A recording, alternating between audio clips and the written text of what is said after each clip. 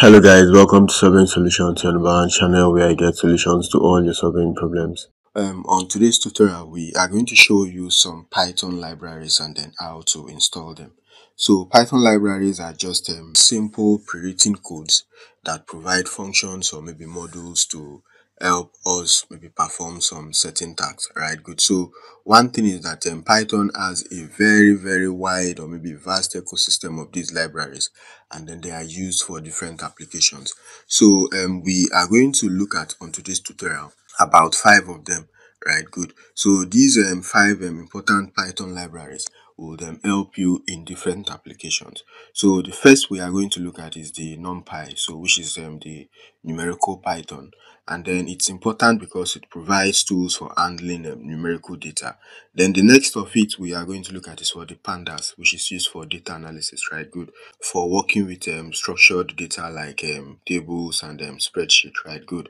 The next we are going to look at is the matplotlib, which is um, for data visualization, right? Good. So it helps us to create um, static or animated interactive plots. Then we would also look at what the the scientific skitlearn, that's the skitlearn used in what machine learning. It provides simple tools for implementing machine learning algorithms. And then um, we are also going to look at request, right? Good. It um, allows easy communication with um, web servers or for making um, HTTP requests, right? Good. So these are the five Python libraries that we are going to what install. So for us to install these libraries, we would come to the command prompt. Now for us to get to the command prompt, you use maybe if you're using Windows, you use um, Windows um, arrow. Now when Windows arrow comes up, for you to what, run the prompt, you now use um, cmd, that's the command. Type the name of a program, folder document or internet source and Windows will open it for you. So we are trying to look at what command, right? Good. So we click on OK. Now the um, the prompt is up what we want to install, we can decide to install the five libraries at once and then we can decide to install them one after the other. So let's install them one after the other. So we go with um, pip install that um, we want to install. Now, what is pip? Pip is um, the Python package installer, right? So it helps you to install the Python library. So pip install, the first one we want to install is what? The NumPy right? Good. So we click on enter. Okay. So it has already been installed right? Good. The next of which we want to install is what? The pip. We go with pip install. We go with pandas right? Good. So it has already been installed right? Good. So we come to the next one which is the matplotlib. So we go with um, pip install matplotlib. Good so that is fixed. Um, the next of which ensure that in all of these you have an um, internet connection or maybe something for you to walk through the process right? Good. Let's now look at the skitlearn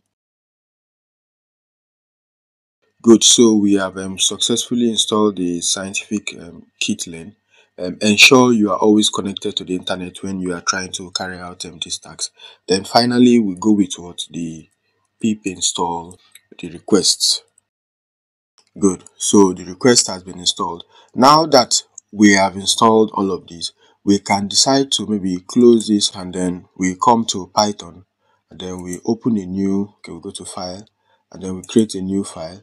And then what we want to do now is that we want to test if whatever we have installed, like um, those um, five packages that we have installed, if they have been successfully installed. So we go with um, import. The first one was what NumPy, right? We still come down to import. The next one was in pandas. We still try to import the matplotlib. Then we import the scientific um, skitlearn sklearn and then we finally import request right? So what we want to um, instruct um, Python to do is that if all of these um, packages are installed, it should just print um, all libraries are installed, right? Good. So we just go with um, print all, okay, we need to have a quote, all installed. so we can go with that we close that and then we close our bracket now before it runs we need to save it so we go to file save as good. So we have navigated to our folder from solution up to python to install packages and then let's call this um, test. Right good. And then we save that. So we can run.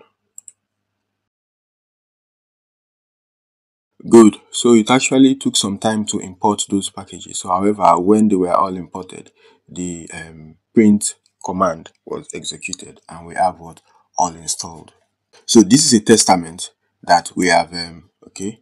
This is a testament that we have successfully imported and installed we have installed all of these packages and then we can actually import them to what our python um, interface for us to carry out um, some tasks with them right? So thanks for coming to class. We have shown you how to install uh, maybe some important python packages that um, you can use for your data analysis maybe your web development or whatever the case is right? Good. So if um, the video was actually interesting and um, educative you can um, subscribe to the channel and then give it a thumbs up. So you see more content like this on the channel. So we we'll see you on the next video. Bye